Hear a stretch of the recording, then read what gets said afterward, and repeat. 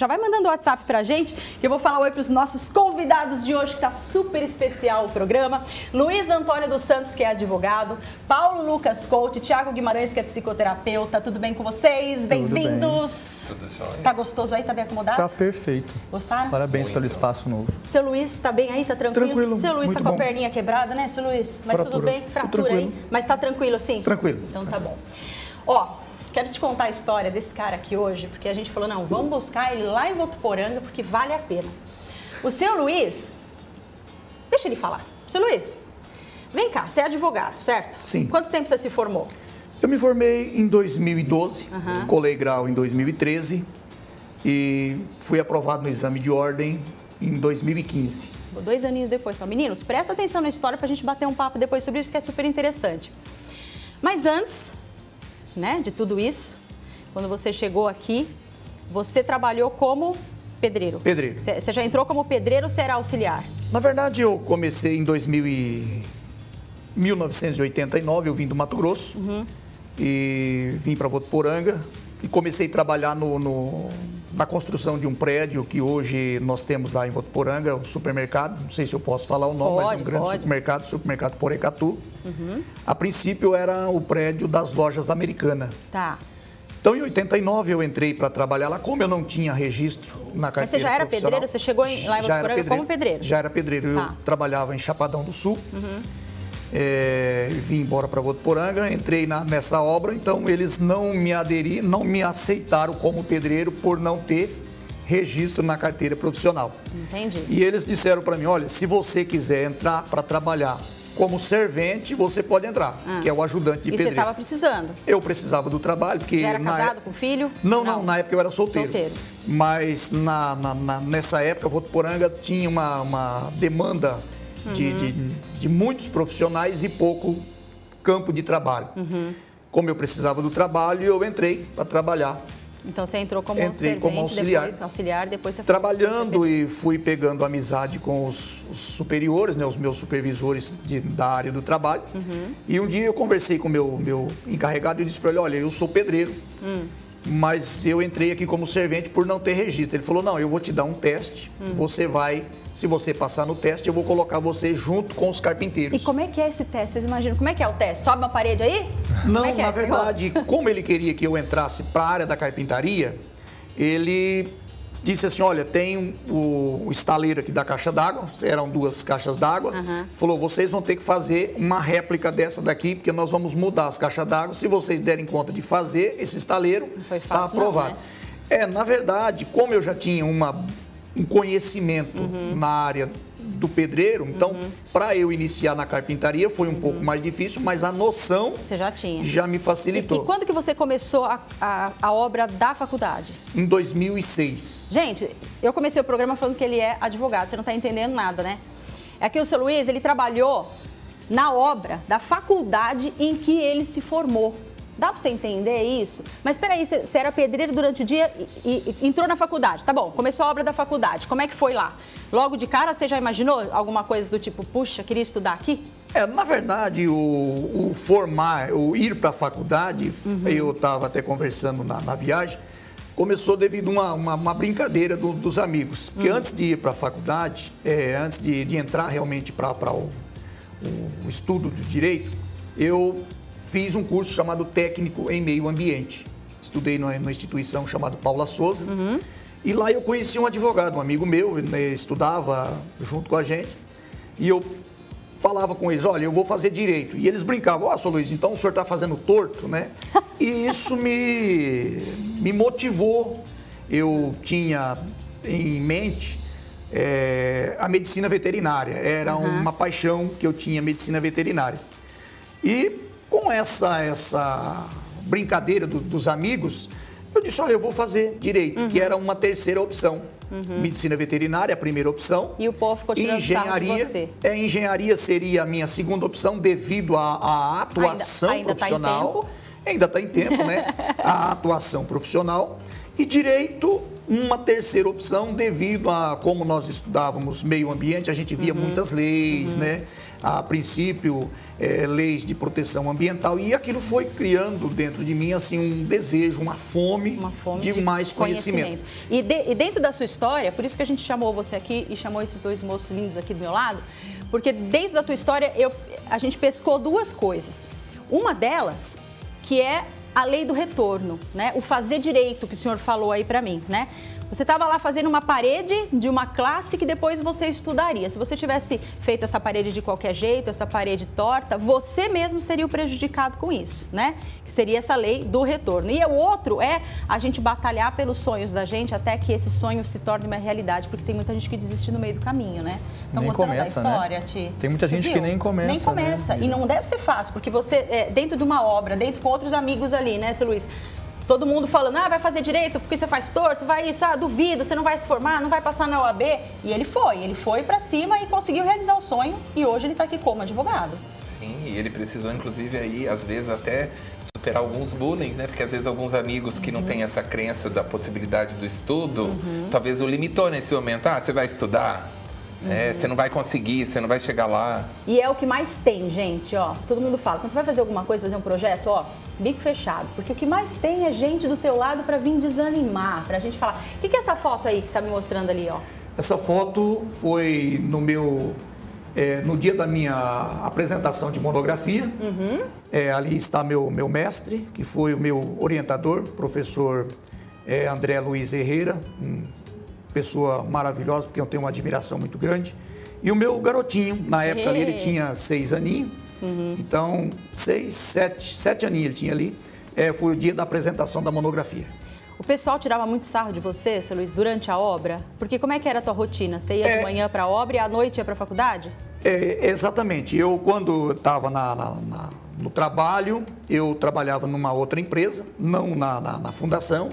É, eu trabalhei na fundação 2006, né, nós construímos o primeiro bloco, uhum. que é, ele forma um ângulo reto.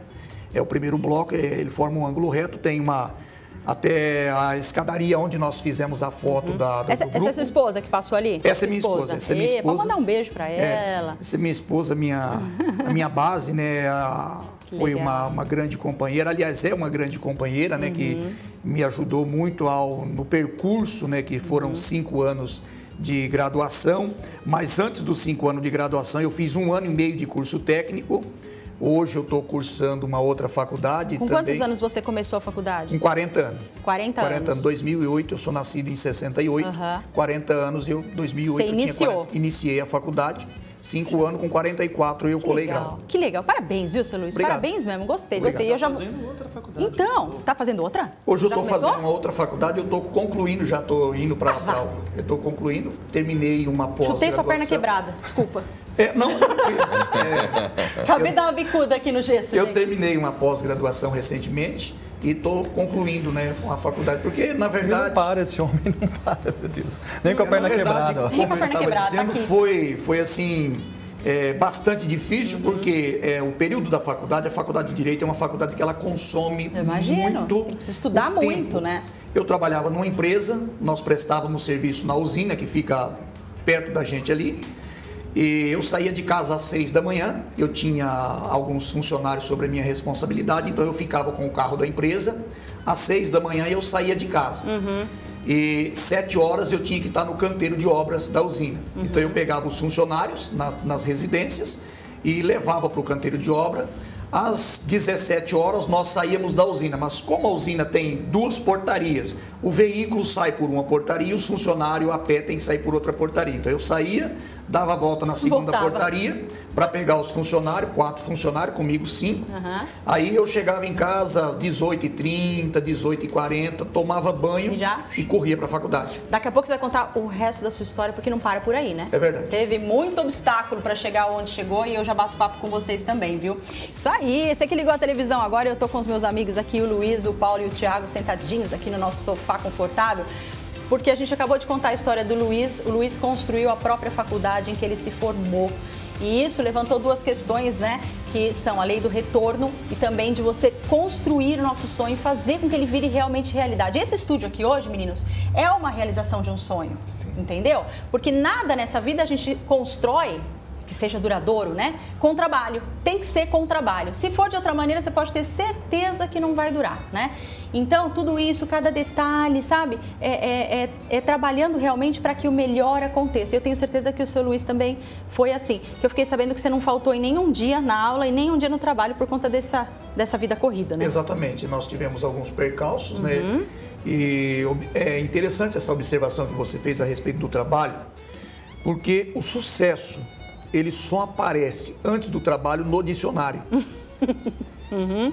Caso contrário, uhum. o trabalho ele propicia uhum. o sucesso, é. a conquista, é, as vitórias. Né? Elas não uhum. são é, oriundas de um trabalho fácil. Ela uhum. vem de acordo com o seu empenho, a sua dedicação.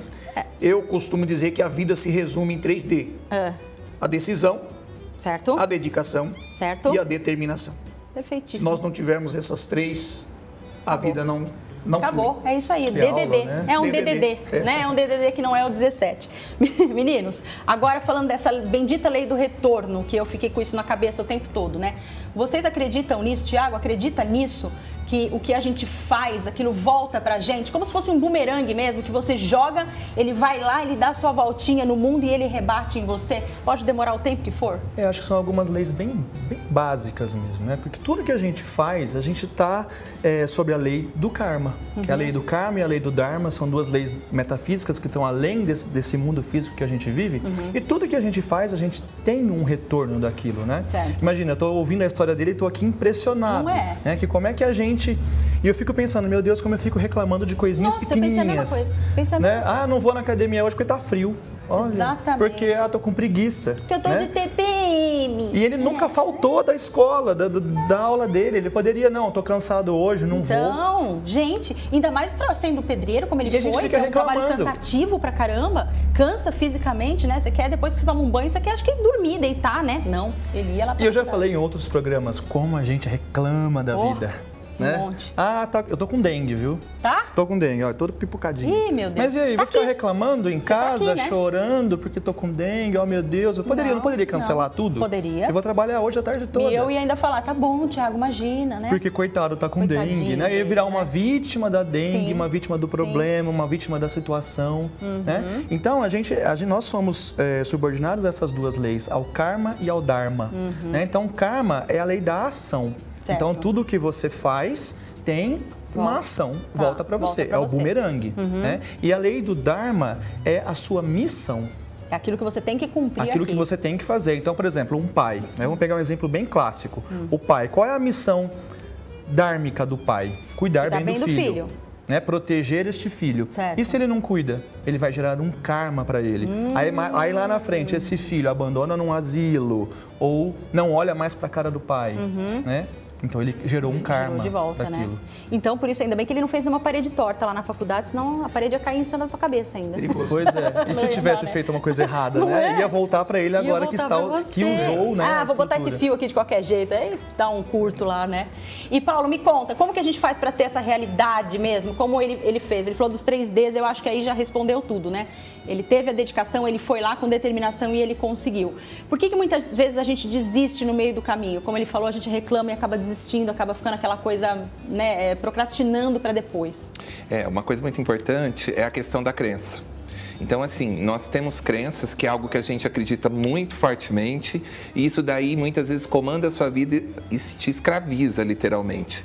Então, assim, se ele tivesse uma crença que por ele ser pedreiro, ele não conseguiria atingir realmente aí uma faculdade, o banco acadêmico, ele realmente ficaria ali como muitos profissionais que acabam tendo aí as suas atividades profissionais mais braçais e acreditam veementemente nisso, que eles não podem. Às vezes os próprios colegas falam: "Olha, você tá louco? Você vai estudar, Não né? é? Nós nascemos para pegar no pesado". Eu tenho uma experiência, como você coincidentemente estava pensando, de uma pessoa que ele foi montador de loja e hoje ele é um promotor.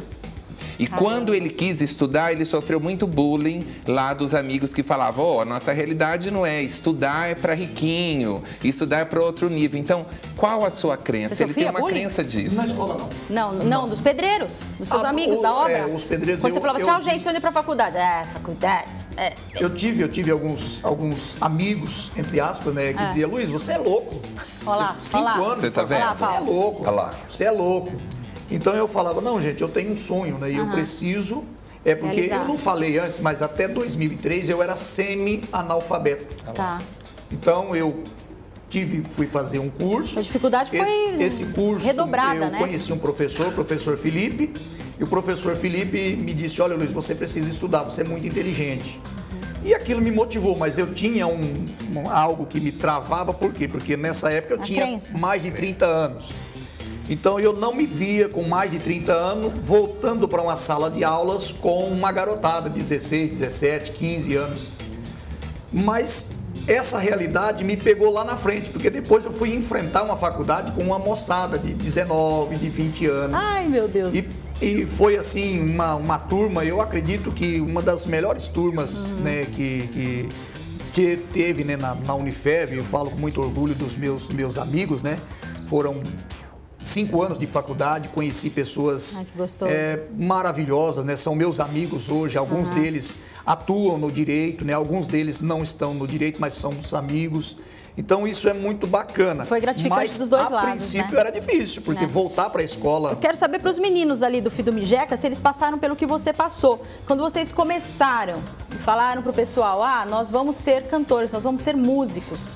Teve gente que falou: "Ah, tá, mas vocês vão trabalhar no quê? Com certeza. Teve, teve, teve essa que os pessoa? músicos em geral so- sofrem isso aí, que a galera fala, ah, eu trabalho com música. Não, mas você não trabalha? Você, Mas você não vai ganhar dinheiro? é, você, não- você não canta? Durante a faculdade, a gente fazia agronomia é, e a gente abriu mão do sonho da agronomia para para ser músico, para cantar, para levar alegria para as pessoas. E muita gente falava, pô, você tá louco, cara? Entendi. Você vai parar, a gente fazia na Unesp, Olha lá. solteira lá, da vai parar uma estadual. faculdade estadual para mexer com música do nada assim. E a gente acreditou no nosso sonho e hoje a gente leva alegria pro Brasil inteiro aí, leva a nossa música, leva o nosso Tá trabalho aí, é muito bacana. Tem que acreditar. É que muita gente. gente acha que é, é bagunça, né? E a gente levou Isso. realmente como trabalho. É festa, é montamos a bebedeira, nossa empresa. noite, Hoje em né? dia tocamos o nosso escritório, então literalmente Bem- é trabalho. Deus é pai, né? Que gostoso, que gostoso ter todo esse apoio, né, seu Luiz? Verdade. Mas eu queria agora que você me falasse a respeito dos outros obstáculos que não foram pequenos, né?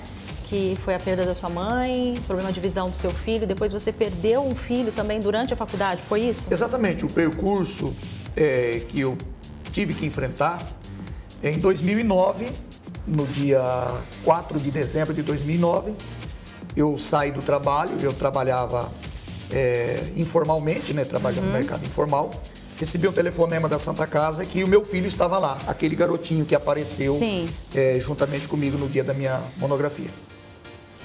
E eu fui para o trabalho, peguei a minha esposa, não podia falar para ela porque ia entrar Ia em choque. preocupar ela também, né? Só que ela percebeu que eu fiz um percurso diferente do Uhum. caminho que eu fazia, né? Hum. E eu vim direto para Santa Casa. Ela disse: "O que você vai fazer na Santa Casa?" Aí eu disse para ela, quando chegou lá, falei: "Se ela passar mal aqui, Já tá aqui." Então já tá aqui, tá fácil, Aham. né?" Eu disse: "Não, o Jonathan tá aí." Tá. Aí nós entramos Isso pro coração de uma mãe, né? Meu É, pra Deus mãe, muito difícil, né? Pai também. Nós entramos, a assistente social veio ao nosso encontro e disse: Olha, a médica quer falar com vocês. Nós entramos para a sala da médica, a médica nos atendeu e disse: Olha, pai e mãe, vocês precisam ser fortes, porque a história, a, a notícia que eu tenho para vocês não é muito boa. Se vocês não chegassem agora, o seu filho iria para São José do Rio Preto, o seu filho está com trauma ocular e é um trauma grave. Então aquilo, o meu chão saiu debaixo dos meus pés. Imagina. Eu tinha uma prova naquela noite, Nossa. prova de direito constitucional. coisas acontecem tudo junto, né, gente? Aí a minha esposa veio para São José do Rio Preto, veio para o HB, ficou com o meu garoto ali, posou.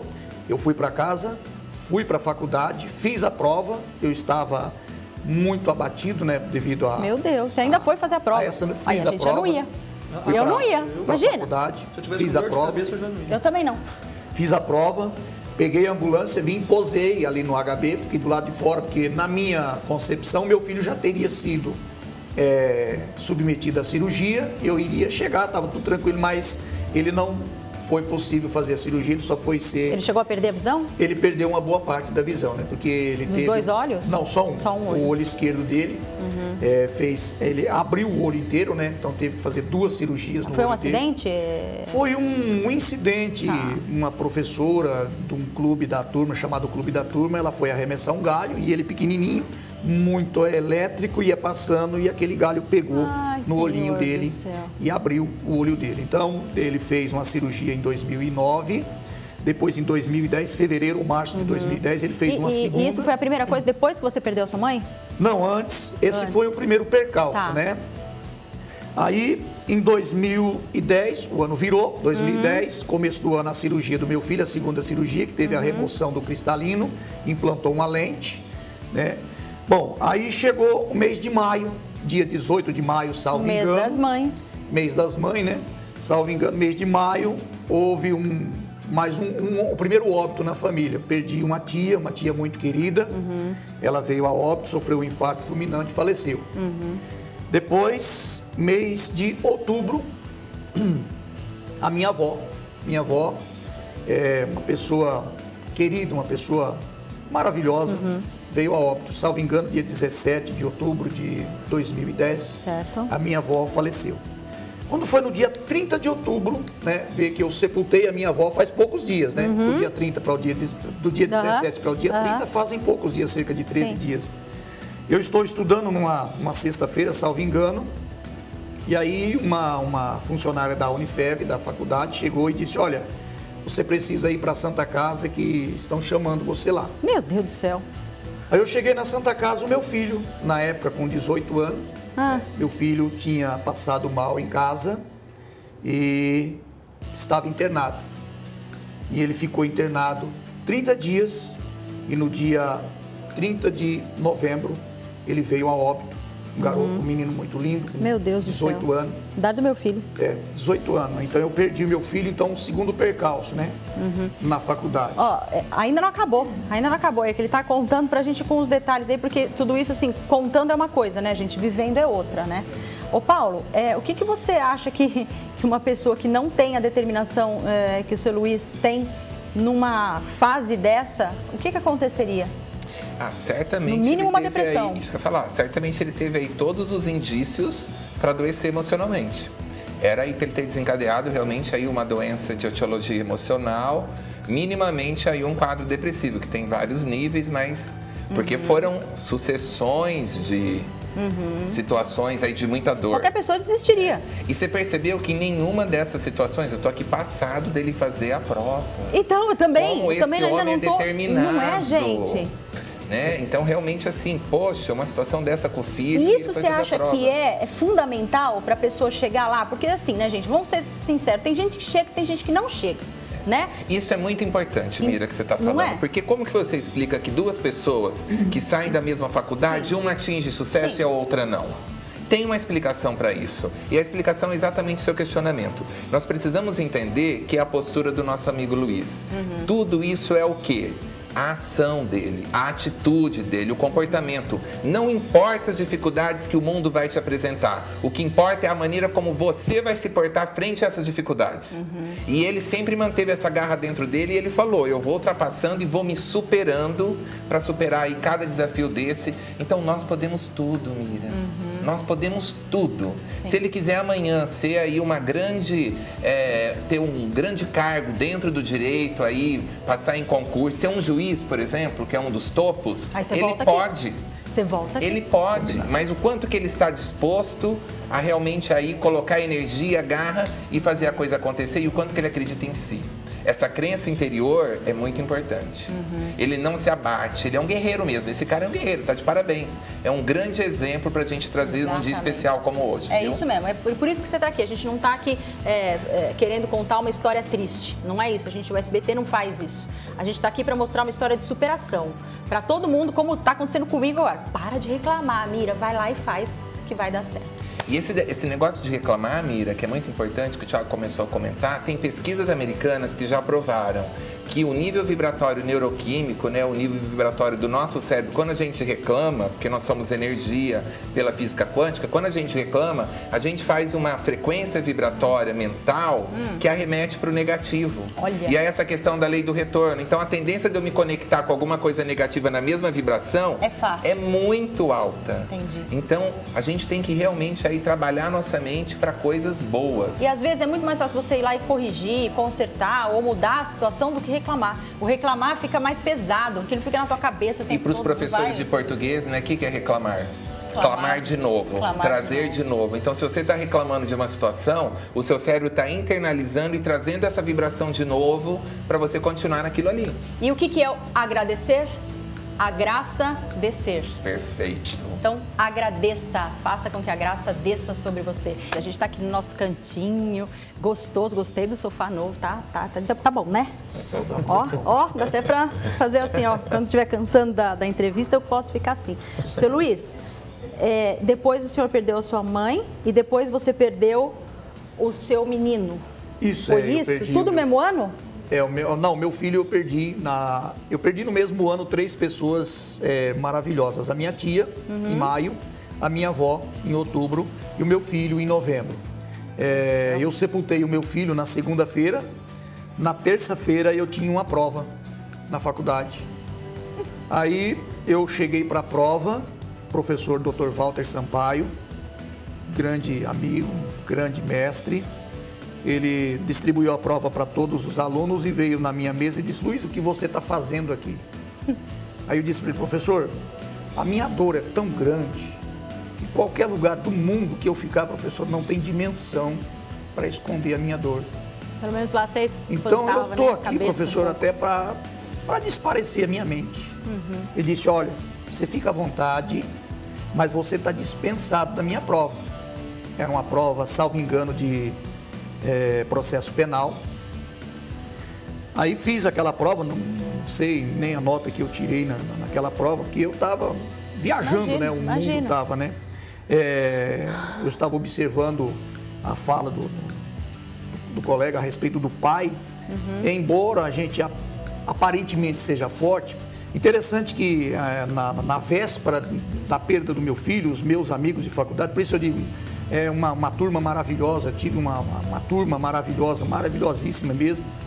Eh, na- no período da faculdade eu também perdi um amigo muito, um menino Mas da onde que o senhor muito tirou lindo. força para conseguir sair de casa, deixar a sua esposa que também não estava né, legal, é, ir lá e se concentrar numa prova? Eu não sei, eu acho que eu não ia pensar em nada. Eu acho que eu ia me jogar numa cama lá e ficar chorando. É, aquela, não, sem aquela, força, aquela força de vontade. né? Eu sou evangélico, eu professo de, um, de uma fé, tenho uma, uma, uma vontade de, de, de, de vencer, mas em primeiro lugar a gente busca força em Deus, né? Como eu Uhum. estava dizendo, eu sepultei meu filho, fiz a prova, mas existem os momentos também é, de tristeza, porque nesse período a minha esposa entrou em depressão, uma depressão aguda, né? Porque ela é Super, uma entendi. super mãe.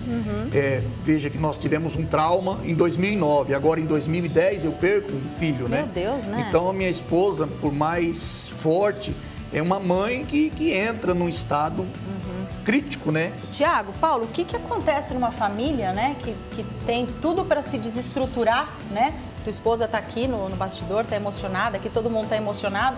É, o que, que pode acontecer numa família, né, que, que, que um- com um pouco menos de fé ou um pouco menos de força, talvez se separaria, talvez é, cairia numa depressão mais profunda, né? O, como, que, como que uma pessoa consegue? Por quê? Vai, que umas- algumas pessoas são assim e por que, que outras pessoas se entregam?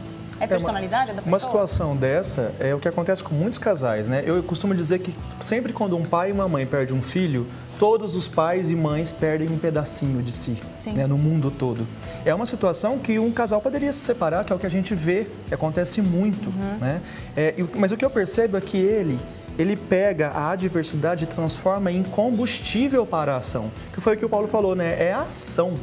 Né? Qual que é a diferença entre a história dele e a história de outros pais que perderam os filhos e não conseguiram continuar, por exemplo? Né? É a ação, é a atitude. Então ele vai lá e faz alguma coisa com aquilo. Certo. né? Então é- essa é a diferença. E por muito pouco, às vezes a gente desanima. Não precisa Pelo perder mínimo, um filho, né? Pelo Às vezes mínimo. pelo mínimo, né? Por tentar ir no mercado, não encontrar o que quis. Pronto.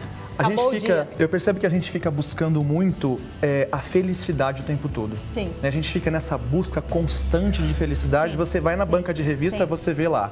é, o Neymar com o carro do melhor carro que existe no mundo, Uhum. a Gisele Bündchen cada vez mais magra, mais bonita, a fulana de tal cada vez mais rica e mais poderosa. Sim. né? Aí você olha para sua vida e você fala, meu Deus, minha vida É uma droga, porque eu não consigo Sim. nada disso. Instagram, não precisa nem na banca. Não, não precisa mais, né? Se você passa lá, é, ó. Quer morrer de depressão é dar valor pro Instagram, né? Todo mundo feliz, Gente. todo mundo muito bonito, todo mundo sempre sorridente. Mas a vida real, ela não é isso, ela não é assim. A vida ela é feita de alegria e de tristeza. Uhum. E o nosso papel é fazer uma harmonia entre essas duas situações. Sim, sim. Meu marido costuma dizer que a vida da gente é uma montanha russa. Tem horas que nós estamos lá em cima, tem horas que a gente está descendo, tem horas que a gente está lá embaixo. De repente sobe de novo, e desce, sobe, desce. Fala, querido. Hã? Tem hora que cai, desce vez lá. Que a gente perde até o fôlego, né? Nossa Senhora. Só dá aquele grito para descer. E a gente não pode ficar pensando também assim, ó, que quanto maior, quanto mais alto você subir, maior, mais alto, pior será seu tombo. Não, não é isso. Senão a gente entra na questão da crença limitante. É uma crença limitante. Né? Se ele- É isso que eu ia perguntar para você. Aquela hora que você falou de crença, dá um exemplo assim no nosso dia a dia de uma crença limitante.